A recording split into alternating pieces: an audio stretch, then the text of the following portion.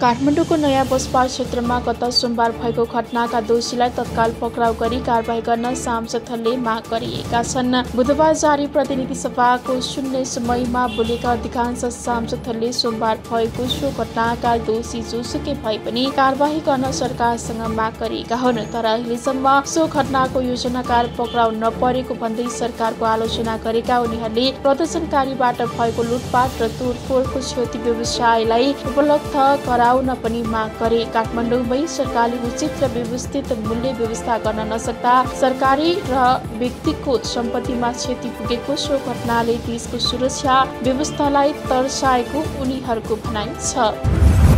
काठमाडौँको तुम्बराई स्थित गोदामबाट ठुलो परिणामबाट म्याद गुज्रिएको बेर बरामद गरिएको छ। वाणिज्य आपूर्ति तथा उपभोक्ता संरक्षण विभागको अनुगमन टोलीले तुम्बराईको गोदामबाट म्याद गुज्रिएको बाह्र सिङ्गे बेर बरामद गरिएको हो। तीनवटा गोदामबाट भण्डार गरेको एक्काइस सय कार्टुन बाह्र सिङ्गे बेर म्याद गुज्रिएको फेला परेको विभागले जनाएको छ। म्याद गुज्रिएको बेरको मूल्य साठी लाख रुपियाँ भन्दा बढी रहेको पनि विभागले जनाएको छ।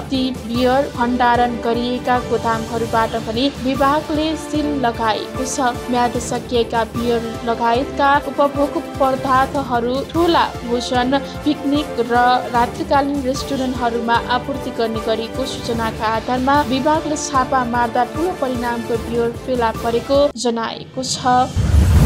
नेपाली काङ्ग्रेसका सांसद अर्जुन सिंह केसीले सर्वोच्च अदालत कायम मुकाए प्रधान न्यायाधीशको भरमा कहिलेसम्म चल्ने भन्दै प्रश्न उठाउनु भएको छ। बुधबार प्रतिनिधि सभा बैठकको सुरुमा समय लिएर बोल्दै उहाँले सर्वोच्चमा एक वर्षदेखि रिक्त रहेको प्रधान न्यायाधीशको विषयमा सरकार गम्भीर बन्न ध्यान आकर्षण गराउनु भयो उहाँले भन्नुभयो सर्वोच्च अदालत वर्षदेखि कामुकको नेतृत्वमा छ। यसप्रति सरकारको ध्यान आकर्षण होस्।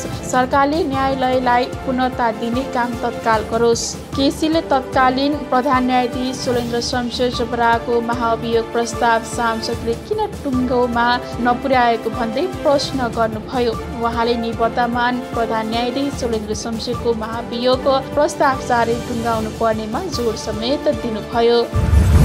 साताको चौथो दिन आज बुधबार सुनसादी मूल्य घटेको छ। नेपाल सुनसादी व्यवसाय महासङ्घका अनुसार मङ्गलबार प्रतितोला एक लाख तिन हजार आठ सय रुपियाँमा कारोबार भएको छापावाला सुनको मूल्य बुधबार दुई सय रुपियाँले घटेर एक लाख तिन हजार छ सय रुपियाँमा कारोबार भइरहेको छ। तेजाबी सुन प्रतितोला एक लाख तिन हजार एक सय रुपियाँमा कारोबार भइरहेको छ। त्यसै गरी चाँदीको मूल्य पनि बुधबार पाँच रुपियाँले घटेर एक हजार दुई सय नब्बे रुपियाँमा कारोबार भइरहेको महासङ्घले जनाएको छ।